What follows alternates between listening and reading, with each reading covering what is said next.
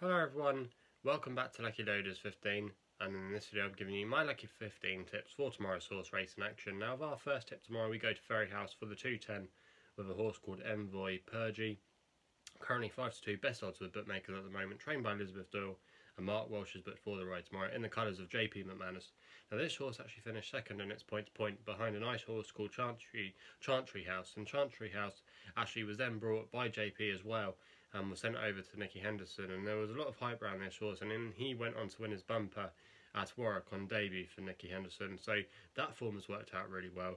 And he ran um, on his hurdle debut this horse at Naas a couple of months ago, where he ran a good second.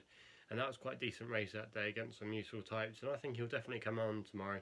I think this has possibly been the target since that race. Um, to target him for tomorrow, and I think he's got a good chance. He's with the right people, right connections, and I just think he looks an interesting um, uh, horse tomorrow, and I think he could definitely go very close. He might not win, but I think he'll be there or thereabouts, and he's going to be our opening selection in our Lucky 15 tomorrow. We then go to the 255 at Ludlow with a horse called Young Wolf, currently 9 to 4 bookmakers at the moment, trained by Jonjo and his son Jonjo O'Neill Jr., who's the hottest conditional jockey around at the moment, is booked for the ride. Going up in trip tomorrow to nearly 3 miles, which I think will suit. Finished third at Catterick last time, and he was probably just a bit outpaced, but the form of that race worked out quite well um, because the winner of that race uh, for Sue Smith went on to win again at Haydock. So the form not looking too bad there.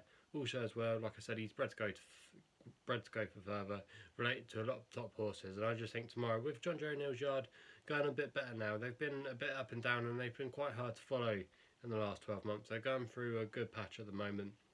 And I just think tomorrow, this horse going on good ground has definitely got a very good chance tomorrow. And he could be well handicapped off his current mark. So that's going to be our second tip tomorrow. We then go to Sedgefield for the 315 with a horse called Sporting Press, currently 6 to 5 with bookmakers at the moment, trained by Keith Dalgleish and Billy Garritty's but for the ride tomorrow, claiming handy £7.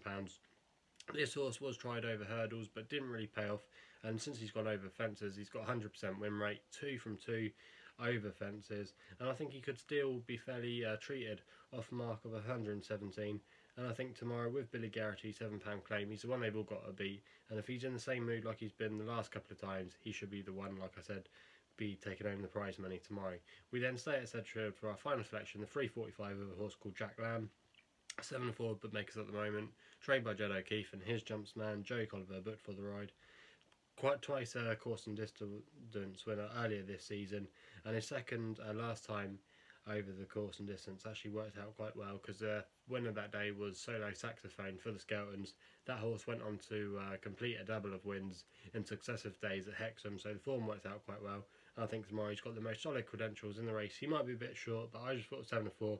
Actually, that's quite a fair price in complexion with everything else going on with its rivals tomorrow. So, Jack Lamb is going to be the final selection on our Lucky 15 video for tomorrow. So, if you haven't done so already, please hit um, the subscribe button for more tips here on my YouTube channel at um, Lucky Loads 15. You can also follow me on Twitter as well. My handle is at Lucky Loads 15, and that's all I've got to say. So please gamble responsibly. Hopefully, we can have some winners tomorrow, and we'll be seeing you soon.